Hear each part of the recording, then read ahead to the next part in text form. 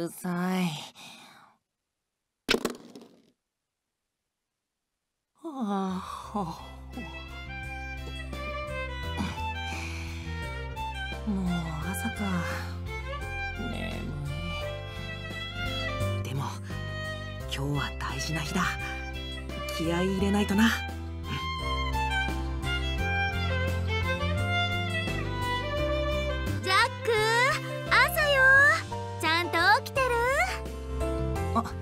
さん。起きてるよ。待って。今着替えるから。よし。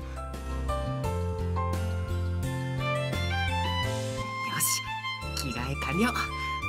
どこも変なとこないよな。父さん母さんおはよおはようジャック。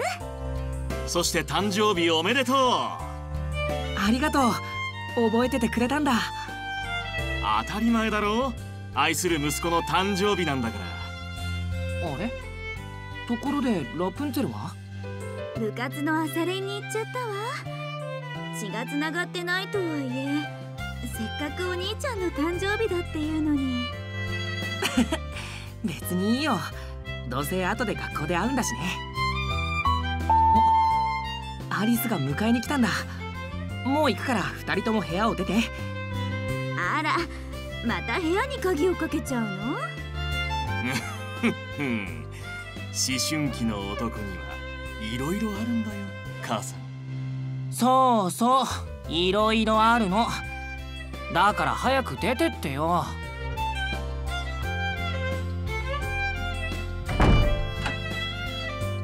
ジャックが隠し事をするようになるなんて。こうして男の子は大人になっていくのね自立心があっていいことじゃないか。ところで母さんあいつもいい年だしそろそろ弟か妹もう一人。あらやだあなたったら。でもそうね。家の中がもう少し賑やかでもいいかもしれないわ。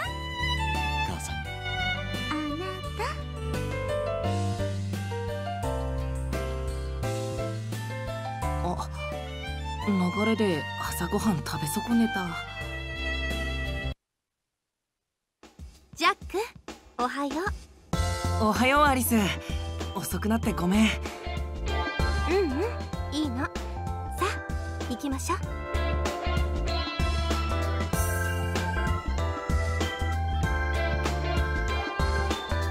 お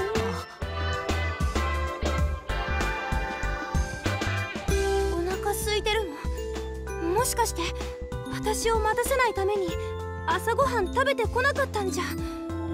いや別にそんなことは。ほらやっぱりお腹鳴ってるじゃない。幼なじみなんだから変に気を使わなくてもいいのに。うんちょっといろいろあって今朝は朝ごはんを食べるタイミングを逃しちゃったんだ朝っぱらから両親の熱々ぶりを見せつけられたというか。ああおじさんとおばさんは昔から仲いいもんね。ああいう夫婦羨ましいな。見せつけられる方は大変だけどね。諦めるしかなさそうね。そうだわ。ビスケットを持ってるんだけど朝ごはんの代わりに食べる？いいの？ええただのおやつだしちょっと多く持ってきすぎちゃったから。はいどうぞ。ああありがとう。それじゃあいただきます。うんおいしい。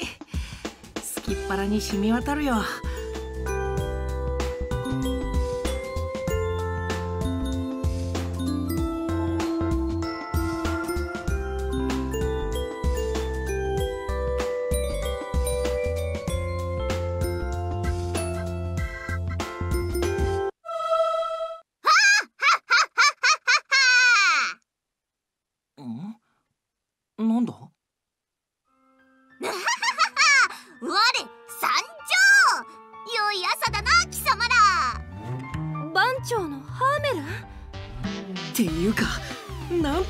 の仕方してるんだ。なんか空から降りてきたぞ。視力ピッコロの力だ。どういう仕組みかは秘密なんだが特別に教えてやってもよいぞ。いや遠慮しとく。うむ謙虚なやつだな。それはそうと今から大事なことを言うから目を見開いてよーく聞くのだジャック。聞くのに目は関係ないわよの昼休み我が城まで来るがよい。ん？なんでまた？いいか昼休みだぞ。絶対だぞ。忘れたら許さないんだからな。何だったんだ？ハーメルンの城って言えば 1A の空き教室のことかしら。勝手に入り浸っているって噂だけど。うーん。なんかよくわからないけど行くしかないんだろうな。やっと昼休みか。面倒だけどやっぱりハーメルンのところに行かないとな。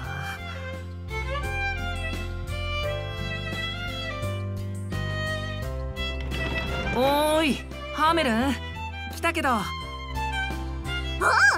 く来たな。これは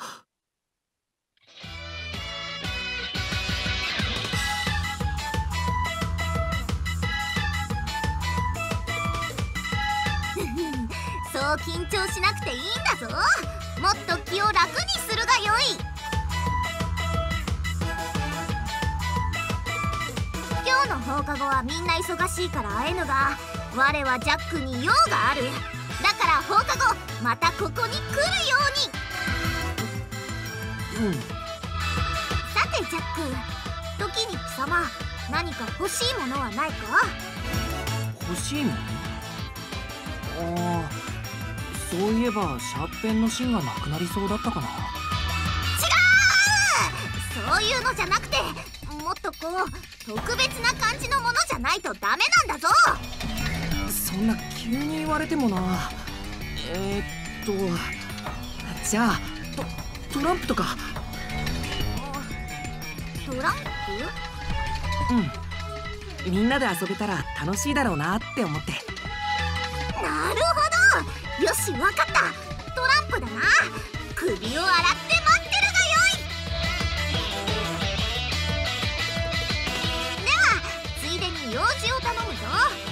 この手紙をみんなに渡してきてくれ。手紙？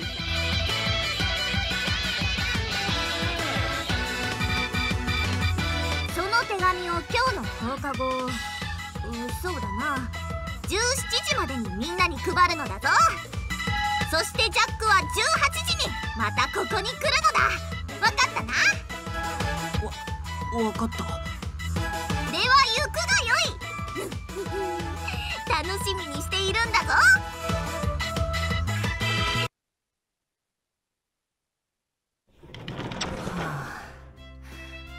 みんな裏で頑張ってサプライズ誕生日パーティーの準備をしてくれてたってことなんだろうな。でも僕がこの手紙を持って行ったらバレたってことが分かってきっとがっかりするだろうし。よし。うまいこと気づいてないふりをしてさりげなく手紙を渡そう。できるかどうかはともかく。昼休みの時間もまだあるしひとまず先に何人かに渡しておこうかな。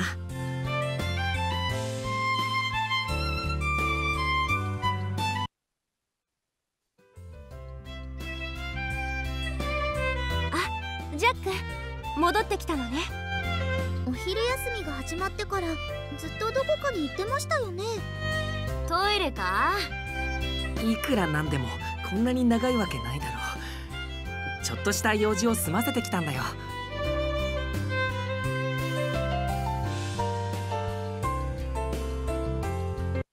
ふーん用事ね。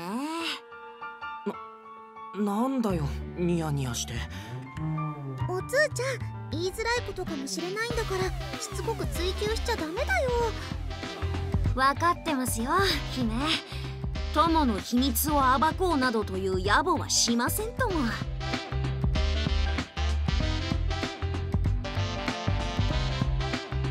ところでジャックお昼ご飯はどうするの？あうん。空き教室から帰ってくる時購買でパンを買ってきたから。空き教室？誰も行かないようなところなのにそんなところに何の用が？あまさか誰かと相引きしていたとか。え？いや違うから。アリスまで本気にしないで。だダメよ。どんなに気になっても聞いちゃダメ。秘められた声かもしれないんだから。姫結構興味津々そうだね。だから違うんだってば。1A の空き教室に行ったのはそういう理由じゃなくて。ああそういえば今朝ハーメルンに呼び出されていたわね。それでどんな用事だったの？ああうん。用事というほどの用事じゃなかったんだけど。なんていうか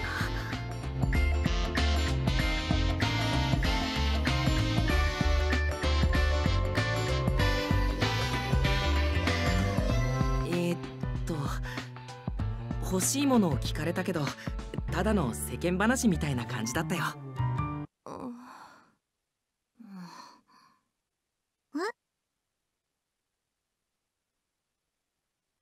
べ別に教室が飾り付けてあるとか気づかなかったしほんと普通だったよ。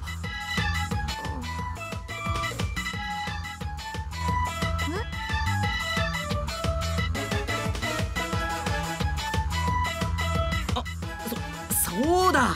ハーメルンから預かってたものがあるんだった。はいこれ。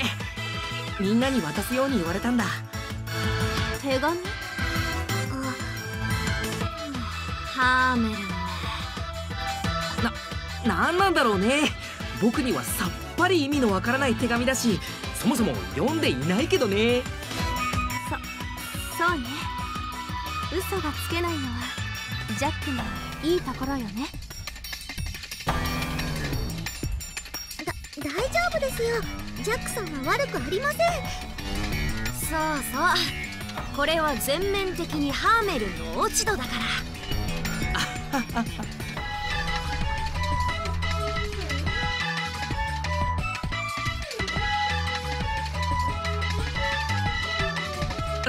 そそうだ。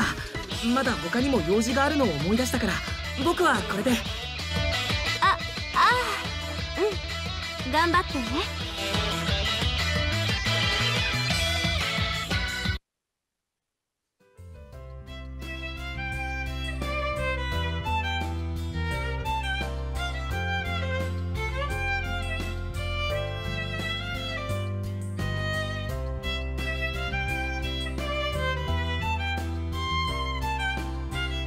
かぐや姫いるか？っていうかいるよね。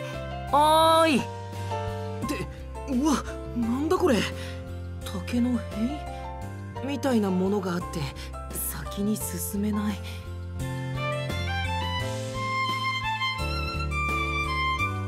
かぐや姫おーい。この向こうにいるんだよね。いったた。ただの竹でできてると思ったのに。やたらと頑丈だなこれ。かぐや姫かぐや姫出てきてくれないか？うるさいですね。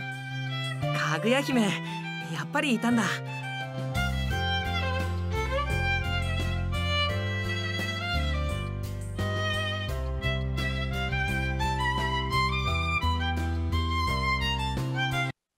あら？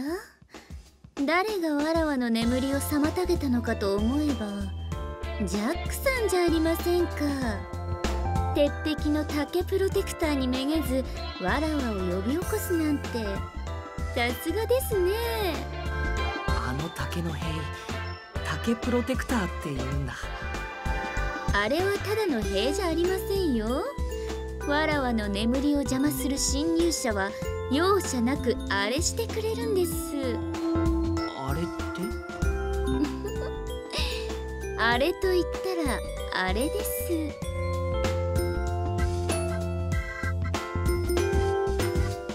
それでわらわの眠りを妨げてまで何しに来たんですか？つまらない用事じゃないですよね。で手紙を渡したかったんだ。はいこれ。えこの手紙をわらわに？うん。君に読んでほしくて。ジャックさんから文をもらうなんてちょっと照れちゃいます。まだ心の準備が。でもそこまで言うなら読んであげてもいいですけど。ああよかった。ハーメルンから預かってきた手紙だから絶対に渡さないとって思ってたんだ。え？ハーメルンさんから？うん。ハーメルンから。なんだ？え？今なんか君らしくないつぶやきが聞こえたような。空耳じゃないですか？っていうかハーメルンさんからの手紙って。ああこの要件ですか。めんどくさいですねこんな回りくどいことするくらいならもうここでプレゼント渡しちゃった方が。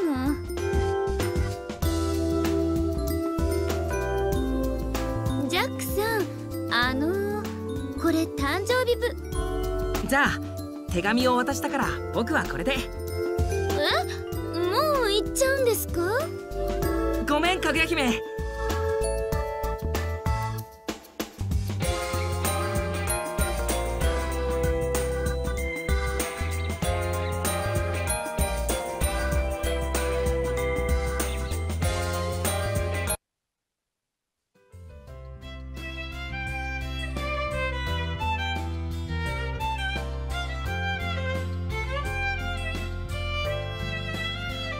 姫だ。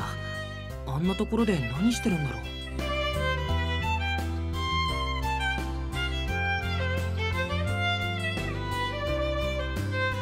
確か園芸部に入ってるんだよな彼女。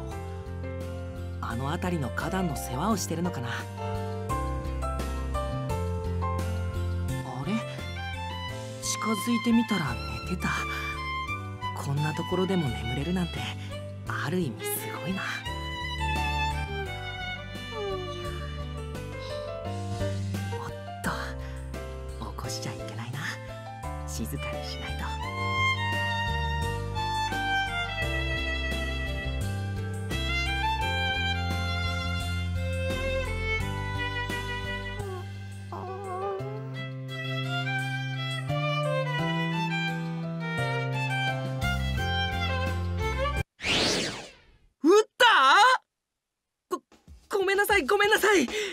をジロジロ見てごめんなさい。別にやましい気持ちはなくて。ってん？矢がちょうど水栓に当たって水まき用のホースから勝手に水が。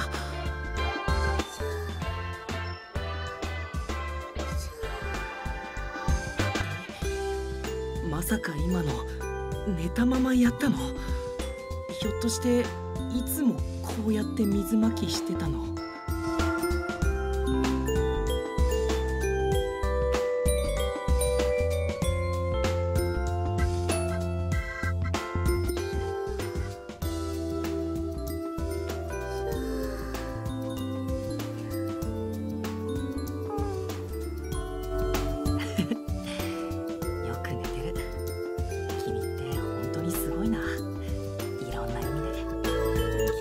ばでは時間がゆっくり流れている気がする。さっきまで時間に追われていたのが嘘みたいだ。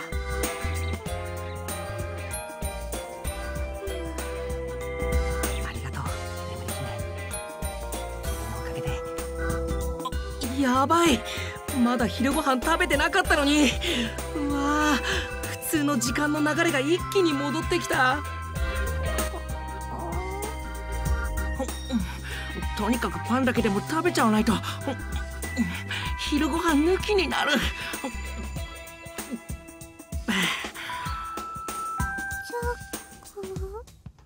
あ眠り姫おはよう。予令が鳴ったから君も早く教室に戻った方がいいよ。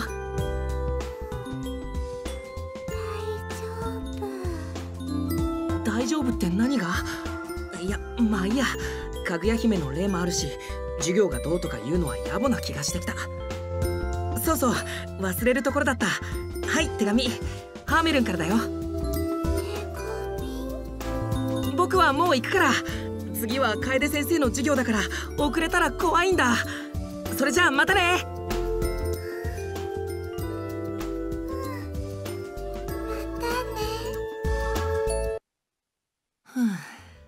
今日の授業もこれで終わり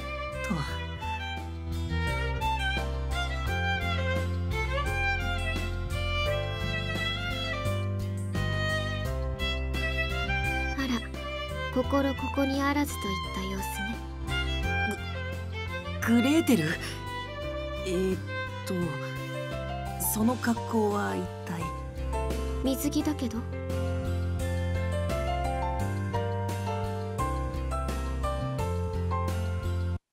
水着なのは分かってるけどここ教室だよ。私は水泳部だから水着を着るのは当然よ。いやいくら水泳部でも教室で水着なんておかしいと思うんだ。ブレッドポータルでいつでもプールサイドに戻れるから問題ないわ。でも普通は。時間を有効活用するために着替える時間を短縮しているの。画期的でしょ？うん。君がいいならそれでいいんだ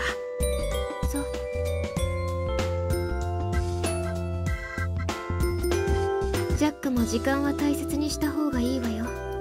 あなた今日昼休みにあちこちを駆け回っていたらしいけど。なんで知ってるの？目撃情報を耳にしただけよ。随分無駄な時間を過ごしたみたいね。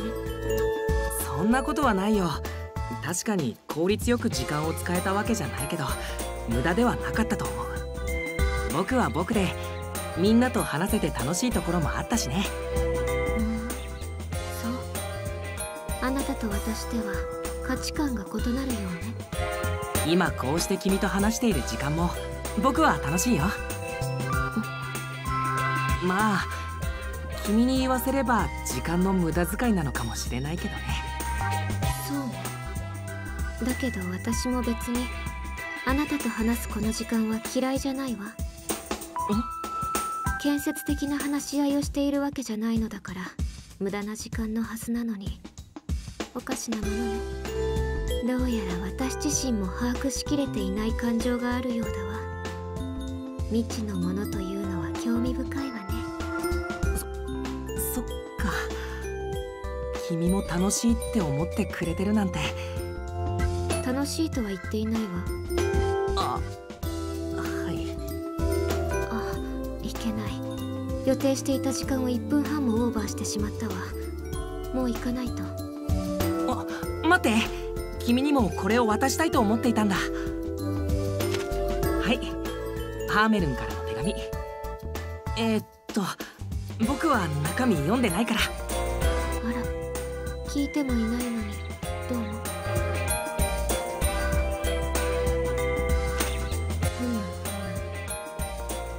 う？ん。なるほど。事情は分かったわ。中身を読んでいないあなたには関係ない話でしょうあははけれ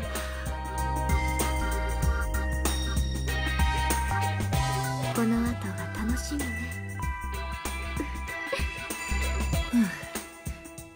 あんまりごまかせた気がしないけど。とりあえず手紙は渡したぞ。さてと。早いところ他の子たちにも渡しちゃわないとな。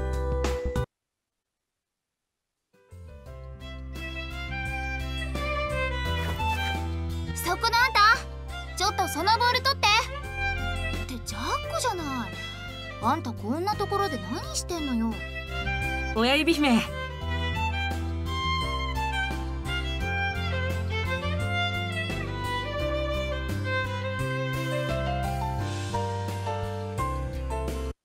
はいボールありがとう。あれ？でもこのバレーボールよく見たら普通のより小さくないか？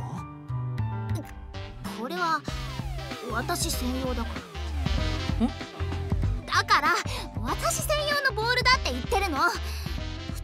通サイズのボールだと大きすぎてうまく使えないからそれって競技をするのに致命的なんじゃ。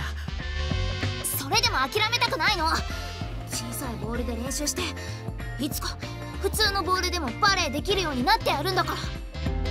そっか。親指姫は偉いね。な、な、な、何よ急に褒めたりしてだって希望を捨てずに頑張り続けるなんて偉いよ。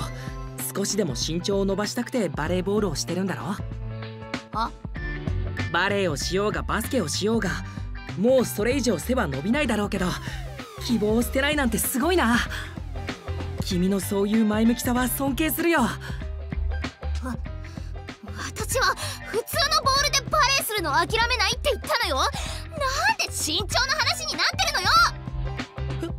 ごめんきり身長を伸ばしたくてバレーをしてるんだとばっかり。その発想がそもそも失礼なのよ。私はあくまでも純粋にスポーツとして頑張ってるの。身長を伸ばすのはただのついでよ。やっぱり身長は伸ばしたいんだ。だいたい世の中おかしいわ。なんでスポーツのコートとかボールってこんなに大きいのよ。ええ八つ当たり。前から思ってたんだけど私が小さいんじゃなくて他が大きすぎるだけなんじゃない？ボールもコートももっと小さくすればきっと私が一番うまくできるんだから。そんな無茶苦茶な。あーもう悔しい。なんで他の部員たちに散々見下ろされなきゃなんないのよ？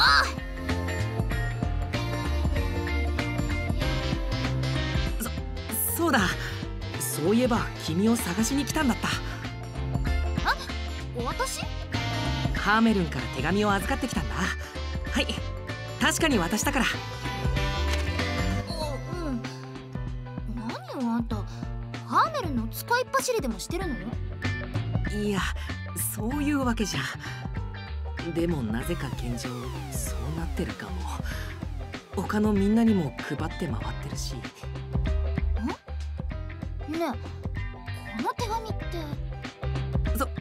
それじゃあもう行くね。まだ他にも手紙を渡さなきゃいけない子がいるから。ちちょっと。なんでこんなもんをあいつが配ってるのよ。意味わかんないんだけど。うーんと渡さなきゃいけない手紙はあと4通か。うん順調順調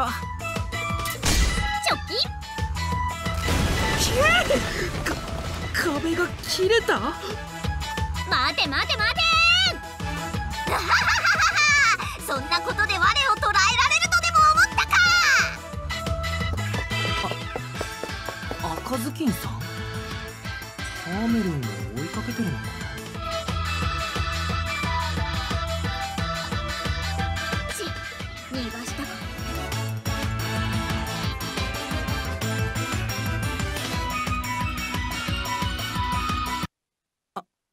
あの赤ずきんさん？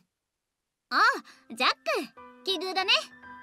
奇遇というかなんというかなんか今すごく危ないことしてなかった？確かにちょっと興奮しすぎちゃったかも。いや反省反省。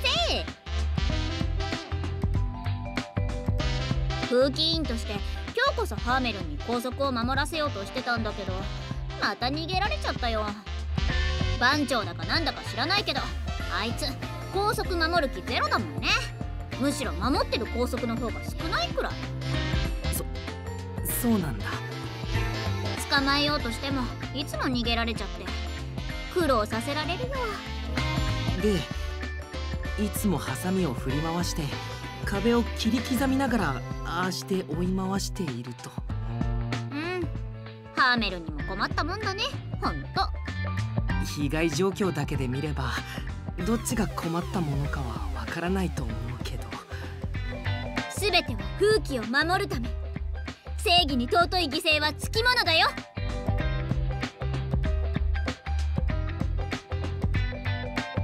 まあ風紀委員の活動には口出ししないでおくよ。ところでそのハーメルンから手紙を預かってきたんだ。えハーメルンから？はいこの手紙。うんありがとう。えー、っと秘密のハーメルン時間変更作戦？ハーメルンってばこんなの本人に配達させるなんて何考えてるんだか。ほんとバカ番長ね そんなところで何をしている？あハーメルン。あいつあんなところにもう我を捕まえるのは諦めたようだな我の素早さにはかなわないと思い知ったか。そんなわけないでしょ今すぐ捕まえてやるから首洗って待ってなさい貯金うわな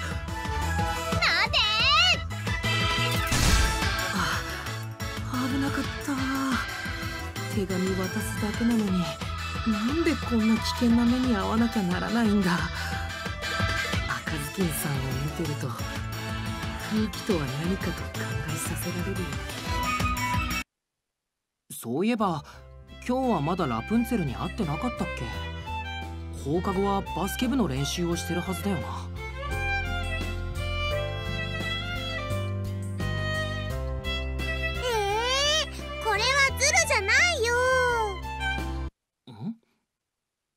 声は。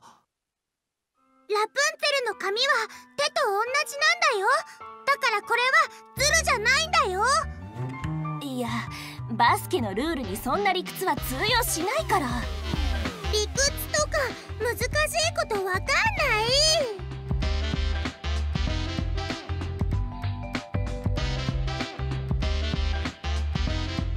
あのうちの妹が何か迷惑かけましたか？ジャックだ。おはよう。んおはよう。もう放課後だけどね。今日初めて会ったからおはようなんだね。ラプンツェルのお兄さんちょっと言い聞かせてやってよ。バスケでは髪を使っちゃいけないんだって。髪を使うというと？髪でボールを取ったりドリブルしたりシュートしたりディフェンスしたりその他もろもろのルール違反。逆にすごい。そこ褒めない。誇らない。すみません。確かにダメですよねそれは。チーム競技なんだからルールを守らないとコートに立たせられないわ。分かったら今後は気をつけるようにラプンツェル。バスケではもう髪を使っちゃダメだよ。でもラプンツェルの髪すごく便利なのに。他のみんなは髪をそんな風に便利に使えないんだ。ラプンツェルもみんなと同じ条件でプレイしなきゃ不公平だろ。みんなと同じで？そう。みんなと同じルールの中でプレイしたらきっと今よりもっとみんなと仲良くなれるよラプンツェルも。みんなと楽しくバスケがしたいだろ？楽しくしたい。じゃあこれからはバスケで髪を使わないって約束できるか？約束する。みんなと一緒に手でボールに触る。よかった。ラプンツェルはいい子だな。そういえばジャックなんでここに来たの？ラプンツェルの部活見に来たの？そうじゃなくて今日はハーメルンからの手紙を届けに来たんだ。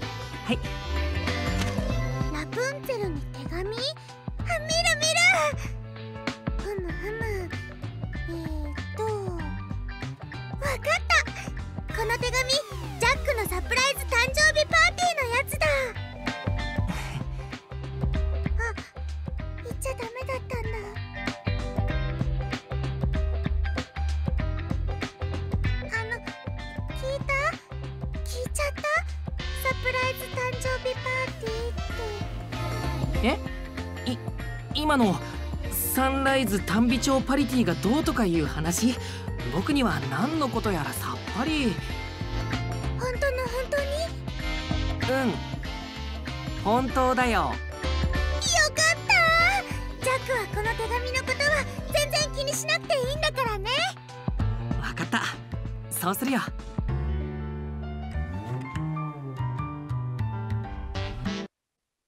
さてと。次は白雪姫だなえー、っと彼女は科学部の部活動をしてるはずだから。うわびびっくりした。どこかで爆発でもあったのか？あっちの方から聞こえてきたぞ。大変だ。倒れてる人が何人も。何があったんだ？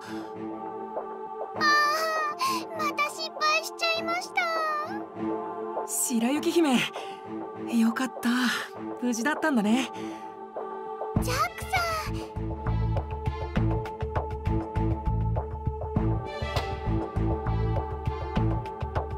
ん。すごい爆発音がしたけど大丈夫だった？はい。でも失敗しちゃいました。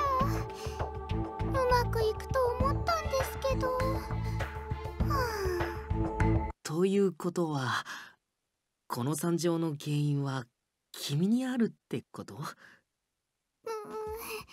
ごめんなさい。ご迷惑をおかけして本当に。いや別に君を責めてるわけじゃないんだ。無事でよかったよ。うん。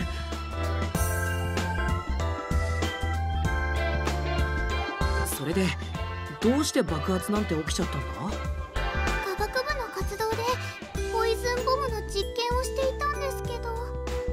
ポイズンで。ボムそれはまたリアルにヤバそうなものを実験していたんだね。本来なら他に被害が及ばないように実験用の強化ケースの中で爆発させるはずだったんです。でもうっかりしていていろいろあって間違って誘爆させてしまって。こんなことに。うん。大事なところがほぼぼやかされてるよねこうなった原因をもうちょっと詳しく説明できないかな。本当にうっかりしていたんです。本当にダメな子です。ね白雪なんて。あそんなに落ち込まないで。君が反省してるのは分かったから。いつもこんな物騒な実験をしてるのかい？実験していますよ。実験に失敗しちゃうのもいつものことなので心配しなくて大丈夫です。心配しなくていい要素が一つもないんだけど。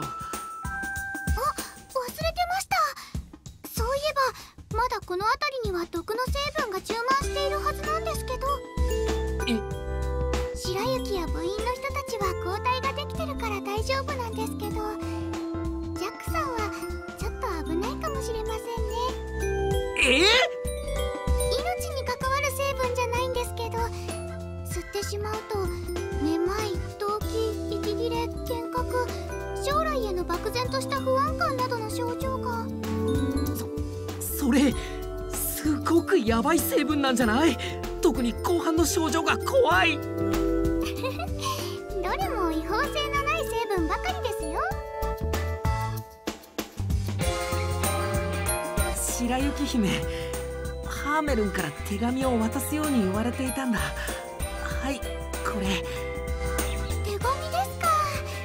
これはご丁寧にどうもそれじゃあ僕はこれで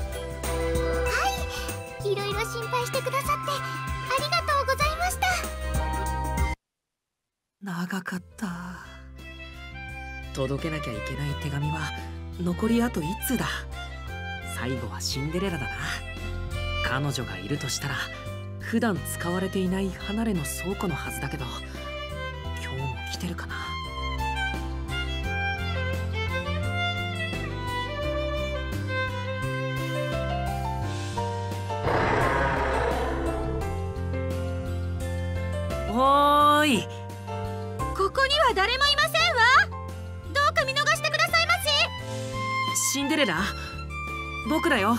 ク安心していいよ。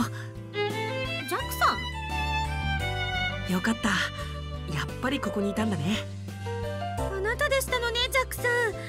他の人だったらどうしようかと思いましたわ。だからっていませんっていうのはどうかと思うけどね。嫌ですわ私ったら。気が動転してしまったのですわね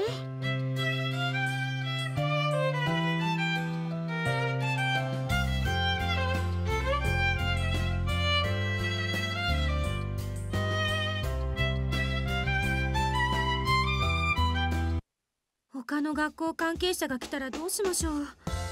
私はいわば不法侵入者ですから。大丈夫だよ。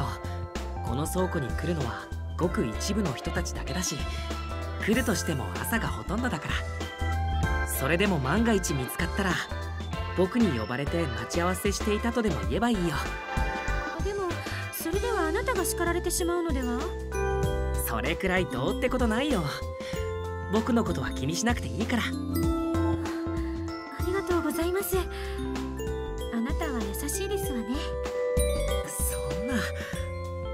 が見つかっちゃうよりずっとマシだからね。それより今日もうまく学園内に入れた？はい。12ダッシュでそれはもう信じられないほどの速さで駆け抜けたので大丈夫でしたわ。信じられないほどの速さ。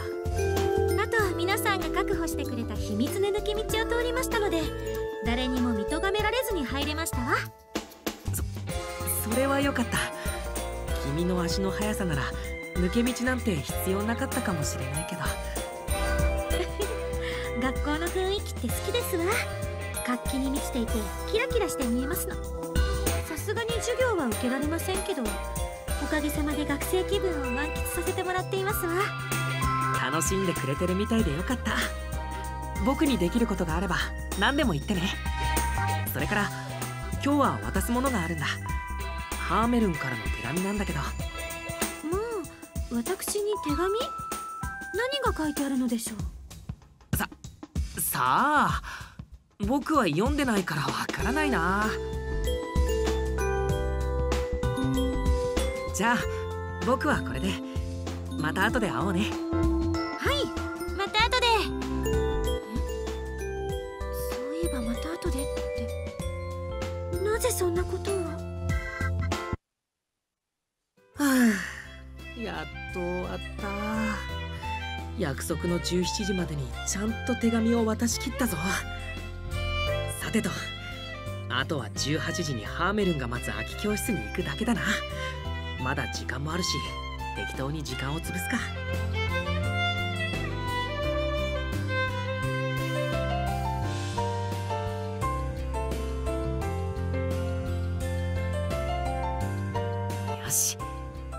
すぐ18時だ。練習もしまくったから驚く演技には自信があるぞ。ちょっとやってみるか。うわーなんだこれは。すっごくびっくりしたよ。いやー嬉しいな。完璧なナチュラルさだ。僕って意外と演技派だったのかも。失礼します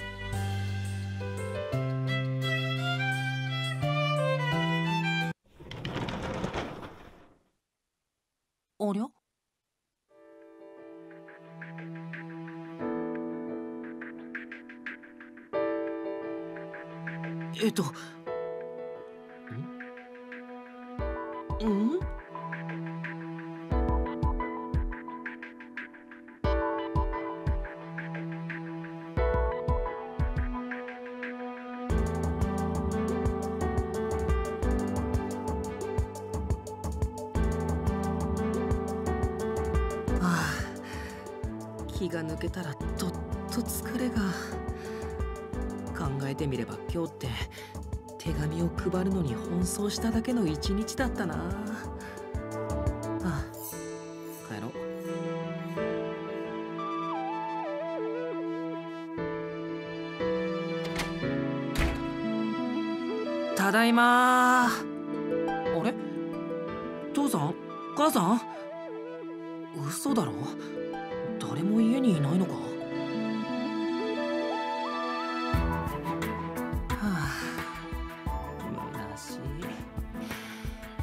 もうふて寝でもするしかないな。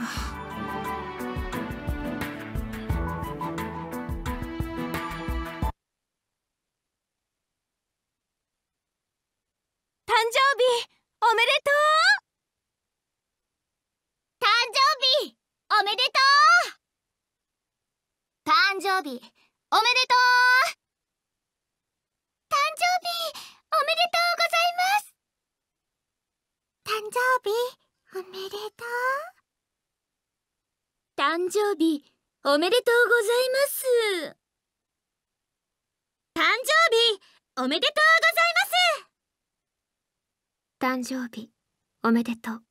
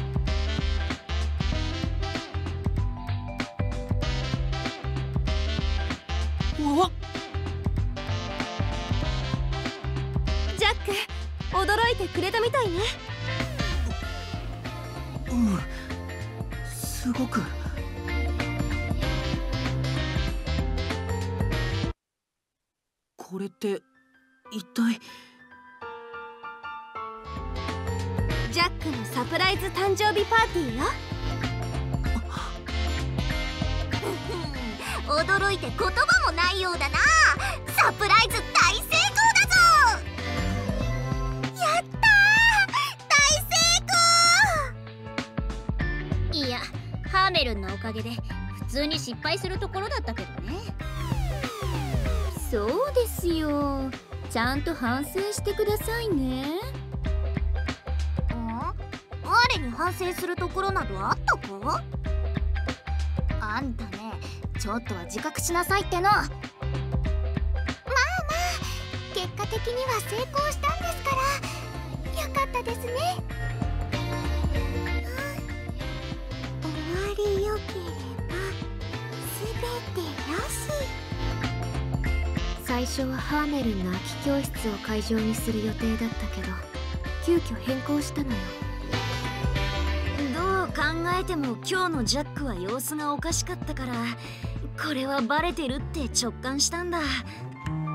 あやっぱりおかしいと思われてたんだ。僕の様子。ジャックさんは隠し事が苦手なんですよね。そもそもあの手紙を持ってきたのがジャック本人だったしね。そこでハーメルンを問い詰めた結果明らかにこの計画は露見しているだろうと判断したの。今から別の会場を探すわけにもいかなかったからジャックの部屋を使わせてもらうことにしたってわけ。おじさんとおばさんには私から許可を取っておいたわ私は手紙を受け取ったのが最後でしたからその後に場所の変更を知らされて驚きましたわ。ハーメルンの手紙を渡される前に話に行ったらジャックと鉢合わせしちゃうかもしれないからね。ジャックさんが「また後で」なんておっしゃるからおかしいと思いましたの。パーティーのことは秘密のはずですのに。タックにバレてたってこと。ああバカらし。いせっかく内緒で計画を進めてたのに直前でバレたら台無しですからね。会場変更でいろいろと荷物を運ぶときかぐやさん大活躍でしたよね。バンブー1号を台車代わりに酷使されてしまいました。まったくのう。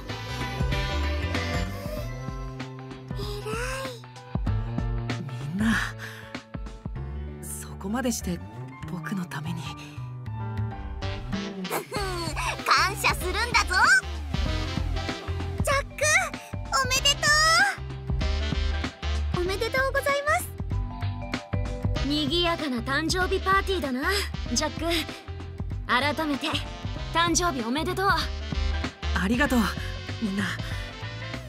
いや男友達のお通にまで祝ってもらえるなんてありがたいな男友達ね。うん。あら？ジャックさんはまだ気づいてませんの？そうなの。あいつ未だにおつうのは男だと思ってるの。鈍い。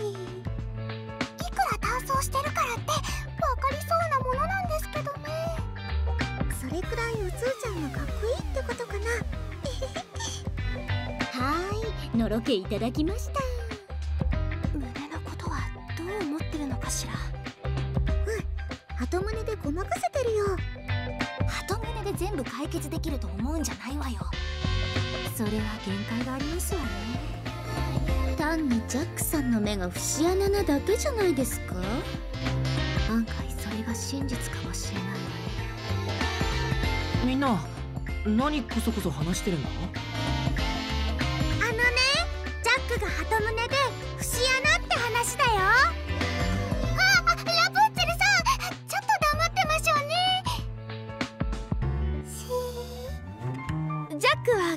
なくていいから。分かった。それよりジャック貴様が希望した通りのプレゼントを用意してやったぞ。うん。希望した通りって？トランプが欲しいと言ったではないか。忘れたとは言わせぬぞ。ああうんうん。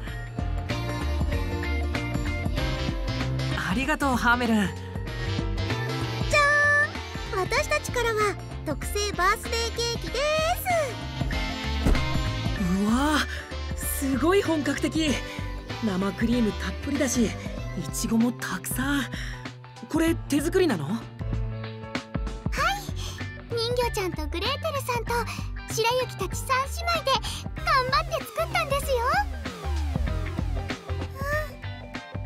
うん、作るの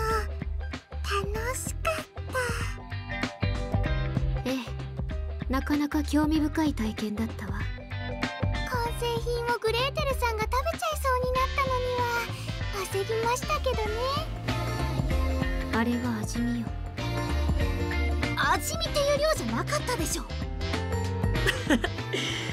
すごく美味しそうだから食べたくなるのも無理ないよね。僕からもプレゼント。はい。手織りのハンカチ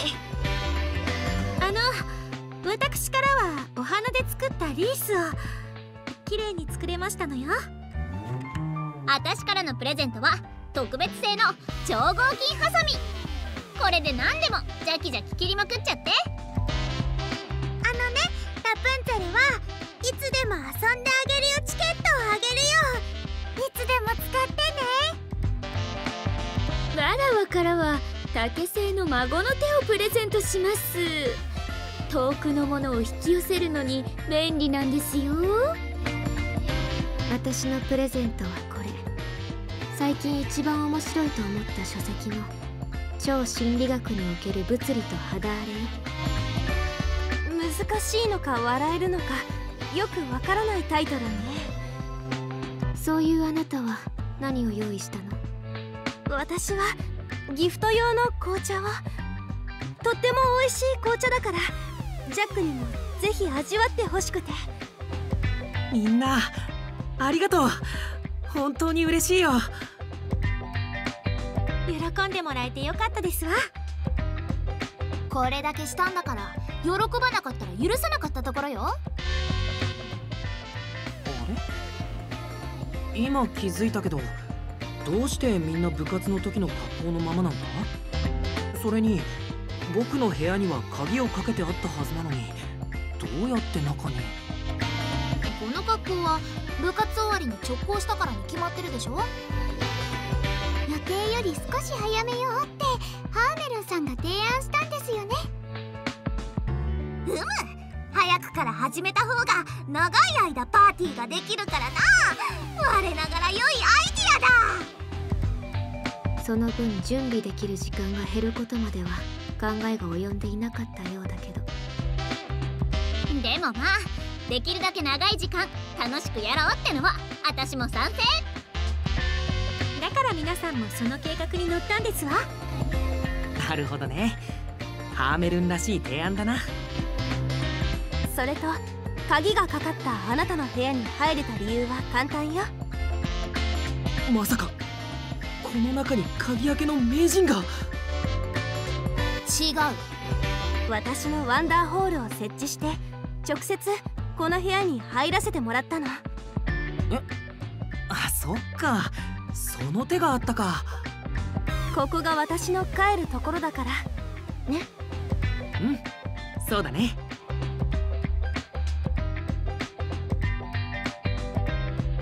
本当にありがとう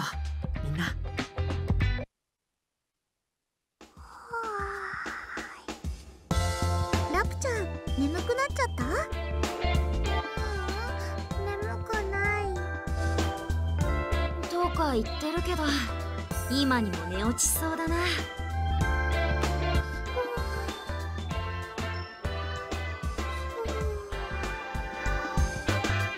こっちはとっくに寝ちゃってるし。結構遅い時間だしこの子が眠くなっちゃっても仕方ないわ。本当だ。もうこんな時間か。とっても楽しくて時間が経つのがあっという間でしたわ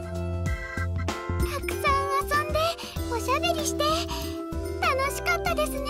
我はまだまだ遊び足りんぞ。とは言ってもずっとババ抜きばかりで飽きてしまいました。仕方ないわ。ラプンツェルやハーメルンでもルールがわかるゲームだと他にあまり選択肢がなかったから。そこはかとなくバカにされてるような。気のせいよそろそろお開きにする？そうだね。みんな今日は本当にありがとう。じゃあ私たちは帰ろうか。そうですわね。ほらレム帰るわよ。起きて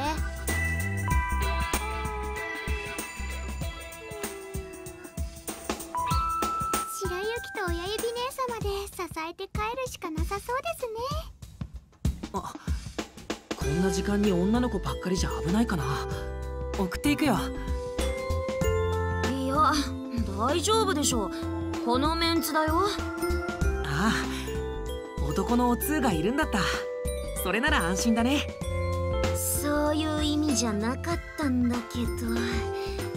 まあいいや。ラプンツェル寝るなら自分の部屋に戻らないと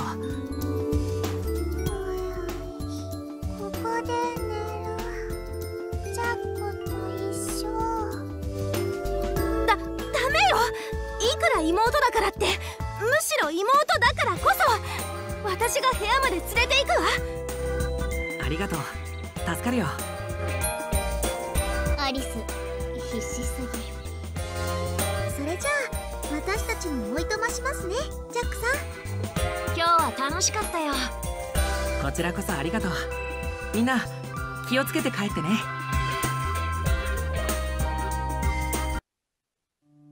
はあすごく楽しかった疲れたけどいい誕生日だったな。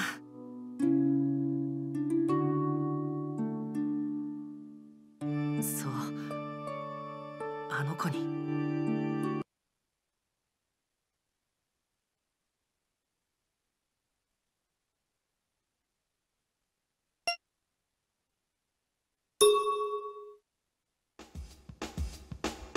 アリス来てくれたんだね。当然でしょ？せっかくジャックが呼んでくれたんだもの。でも大切な話があるなんて手紙が突然来たからびっくりしちゃった。急にどうしたの？けじめをつけようと思ったんだ。けじめ？僕たちは幼なじみで昔からずっと一緒に過ごしてきたよね。そうね。学校でも一緒だったし家族よりも長い時間を過ごしたかも。君は僕にとって一番身近な存在で一番の理解者だよ。でも僕はそれに甘えていたのかもしれない。君との時間が心地よくてこの関係が壊れてしまうのが怖くてずっと自分の思いを押し殺してきた。ジャック。でもそれって不自然なことだと思うんだ自分の気持ちを偽ったまま君の隣に居続けるなんて。だから覚悟を決めた。君に本当の気持ちを伝えようって。僕は君が好きだ。アリス。幼なじみとしてはもちろん一人の女の子として多分だいぶ前から好きだったんだ。アリス。君はどう？その僕のことを男として見れるかな？アリス。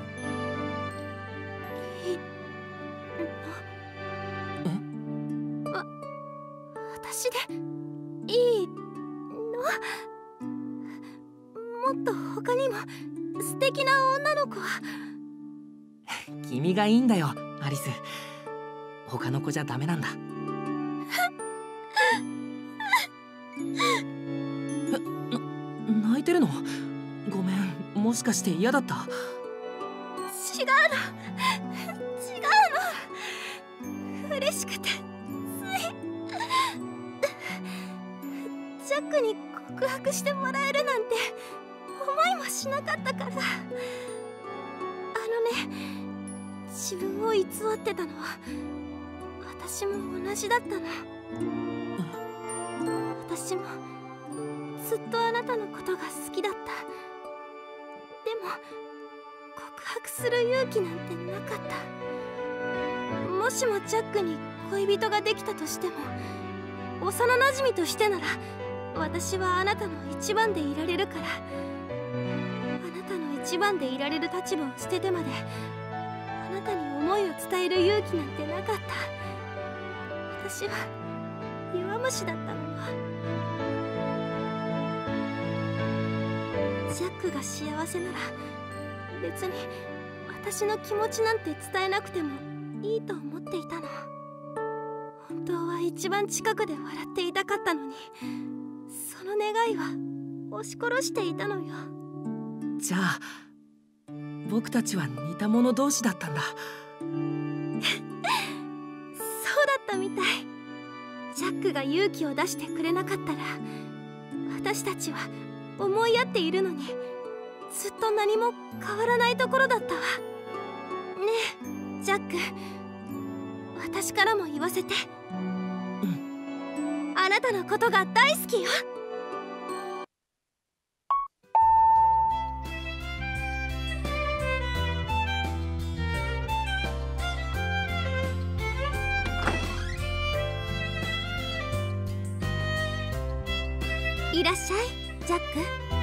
今日は呼んでくれてありがとう。でも手料理を作ってくれるなんて急に言うから驚いたな。だってほら私たち恋人同士になったわけでしょ？昔から憧れていたの。好きな人に手料理を食べてもらって美味しいって言ってもらうのが。だからほらジャックはくつろいで待っていて腕によりをかけて料理を作るから。分かった。楽しみにしてるよ。よ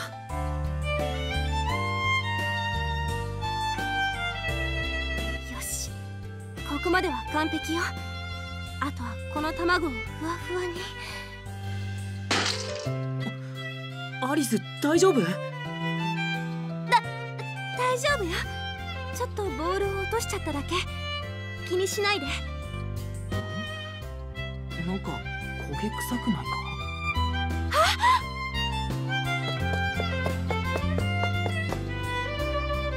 卵焦がしちゃった。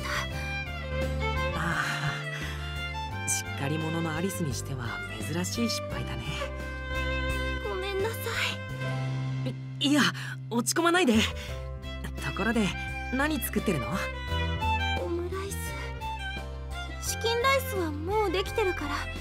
あとはふわふわ卵で包めば完成だったんだけど。何か手伝おうか。うんジャックは待っていて。レシピはちゃんと暗記してるし私一人で平気。ジャックに食べてもらいたくてたくさん練習したんだから。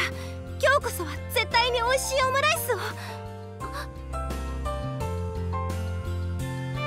アリスがそう言うなら待ってるよ。でも手伝えることがあったら何でも言ってねありがとう。はいできたわ。お待ちどうさま。ジャック。ああ美味しそう。形もすごく綺麗だね。だから言ったでしょ。たくさん練習したって。正直上手にできなかったらどうしようって思ってたの。でもジャックのおかげでうまくいったわ僕？何もしてないけど。待ってるって言ってくれたでしょ？ジャックが私を信じて私に任せてくれたんだと思ったらなんだか自信が出てきちゃったの。アリス。さああとはケチャップをかけたら完成よ。ジャックはどんな柄がいい？柄？ハートとか可愛い動物とかラブって書くのもいいわね。何かリクエストはある？そんなサービスまであるんだ。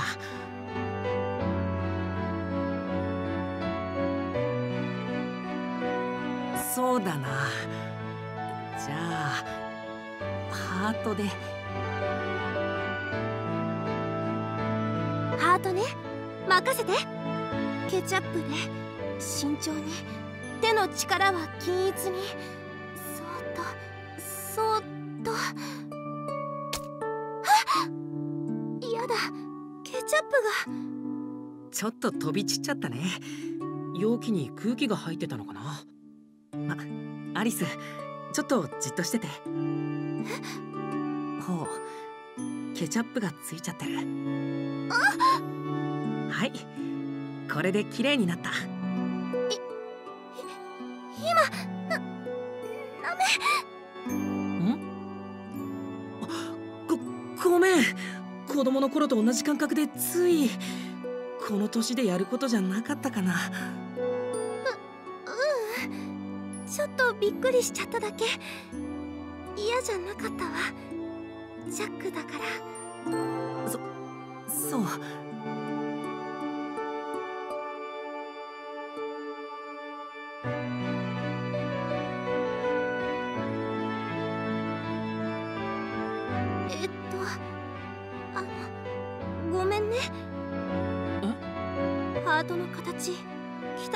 ちゃった。練習した時はうまくできたのに。大丈夫だよ。アリスケチャップを貸して。えちょっと見てて。飛び出しちゃったところを隠すようにケチャップをかけたらほら赤いハートになった。えジャックすごいわ。こんなに器用だったのね。そんな大したことじゃないよ。アリスが途中までうまく書いてくれたからやりやすかったし。ありがとう。幼なじみでも知らない一面ってまだまだあるものなのね。それ僕もさっき同じこと考えてた。アリスって料理できるんだ。知らなかったなって。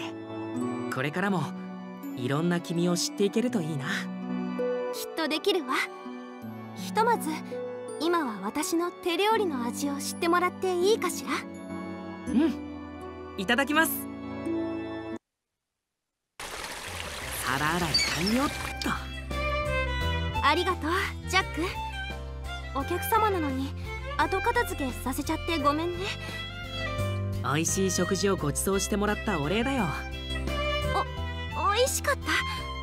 本当の本当に？うん。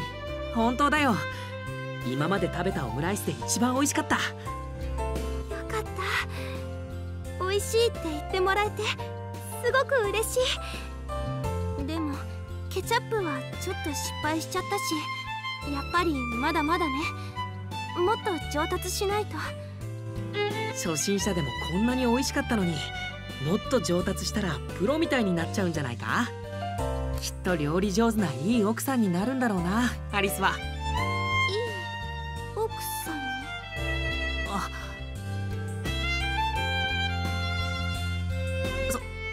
れじゃあ僕はそろそろ帰ろうかな。あんまり長居してもあれだし。待って。あのね今夜うちの両親が留守なの。えっと。夜に一人だと心細いから朝まで一緒に過ごしてくれない？あ朝まで？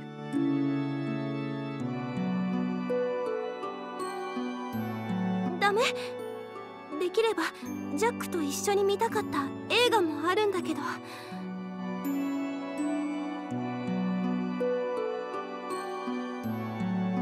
わかった。アリスがいいなら泊まっていくよ。ありがとう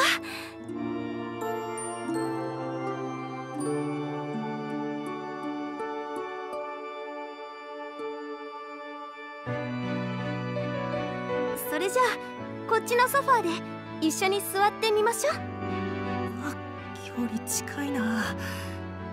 緊張で映画の内容頭に入ってこなかったりして。ジャックどうかした？いやなんでもない。映画楽しみだね